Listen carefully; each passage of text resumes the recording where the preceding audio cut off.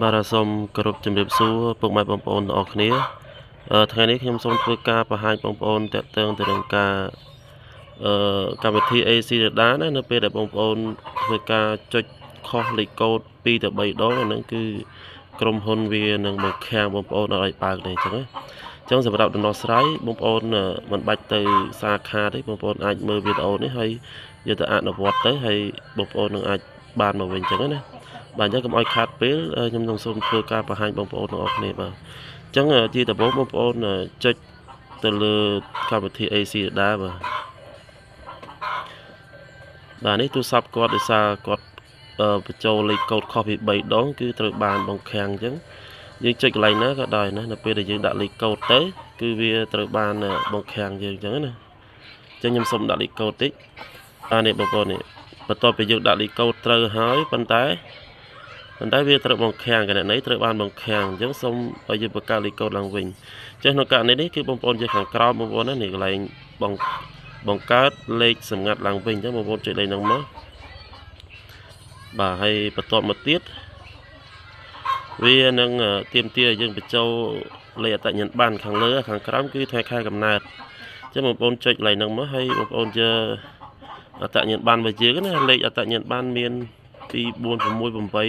9ខ្ទង់ហ្នឹងបងប្អូនបញ្ចូលមកយ៉ាងខ្ញុំសូមបញ្ចូលលេខអត្តញ្ញាណប័ណ្ណអឺ051ចាស់លើសមួយ051អឺ08 38 34 38 34បាទអញ្ចឹងបន្ទាប់ពីយើងដាក់លេខអត្តញ្ញាណប័ណ្ណហើយ បាទយើងចុចយកថ្ងៃខែកំណើតអញ្ចឹងថ្ងៃខែកំណើតគឺវានៅក្នុងអត្តញ្ញាណប័ណ្ណហ្នឹងឯងបងប្អូនចុចទៅតាមហ្នឹងមកបាទ22 465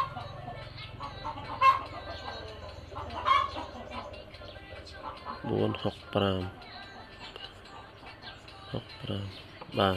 អញ្ចឹងគឺយើងដាក់ទៅតាមអត្តញ្ញាណប័ណ្ណធំមកយើងចុចពាក្យថាបាទ បាទយើងយកពាក្យថាពាក្យថាយល់ព្រមនេះខាងខាងក្រោមនេះបាទហើយទីទៀតវានឹងផ្ញើលេខកូដមកបាទនេះលេខកូដកាលណាយើងដាក់នៅទូរស័ព្ទហ្នឹងគឺវាផ្ញើលេខកូដហ្នឹងហើយអញ្ចឹងបងប្អូនចូលទៅយកលេខកូដហ្នឹងយើងអស់ពីខាងលើមកអញ្ចឹងឃើញលេខកូដហើយ58 24 10 58 24 10 បាទទៅតបមកបងប្អូនចុចពាក្យយល់ព្រមមួយទៀតមកបាទហើយបន្តមកទៀតគឺវានឹងឲ្យយើងបង្កើតលេខលេខសម្ងាត់ថ្មីណាលេខសម្ងាត់ថ្មីដាក់បញ្ចូលលេខសម្ងាត់ថ្មី6ខ្ទង់បាទខាងក្រោមបញ្ជាក់លេខសម្ងាត់ថ្មីគឺដូចគ្នាអញ្ចឹងបើខាងលើបងប្អូនដាក់ប្រមាណខាងក្រោមក៏ដាក់ប៉ុណ្្នឹងដែរអញ្ចឹងណាបាទអញ្ចឹងគឺបងប្អូនឲ្យដាក់ខ្លួនឯងអញ្ចឹងខ្ញុំសូមដាក់លេខកូដមួយផ្លេត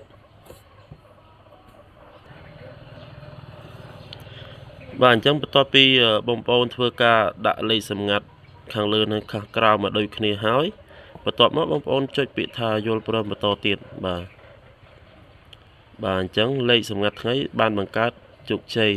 អញ្ចឹងប្រព័ន្ធនេះគឺបងប្អូនអាចប្រើប្រាស់បានវិញណាបងប្អូនណានឹងឲ្យបងប្អូនចុចទំព័រដើមវិញមក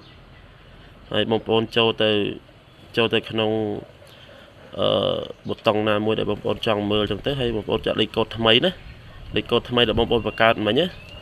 ចឹងខ្ញុំសូមដាក់លេខកូដបន្តិចអឺហ្នឹងហើយបងប្អូនអញ្ចឹងបន្ទាប់ពីបងប្អូនធ្វើការដាក់ហើយគឺវានឹងអាចប្រើប្រាស់បានធម្មតាបងប្អូនណាហ្នឹងហើយនេះគេណាចុចមកបានទាំងអស់បាទនេះចេញមកហើយអញ្ចឹងគឺសម្រាប់វីដេអូនេះខ្ញុំមានតែប៉ុណ្្នឹងហើយសម្រាប់បងប្អូនណាដែលមានចម្ងល់ផ្សព្វផ្សេងផ្សេងផ្សេងទៀតបងប្អូនអាចអឺ comment នៅខាងក្រោម បាទហើយសម្រាប់បងប្អូនណាអត់ទាន់បាន subscribe channel ខ្ញុំទេសូមជួយអឺ subscribe channel ខ្ញុំម្នាក់មួយផងហើយនឹងអាចចែករំលែកទៅមិត្តភ័ក្តិយើងអញ្ចឹងណាបាទអញ្ចឹងសម្រាប់វីដេអូនេះខ្ញុំមានប៉ុណ្្នេះហើយនឹងជួបគ្នានៅវីដេអូក្រោយបាទសូមអរគុណសូមជម្រាបលា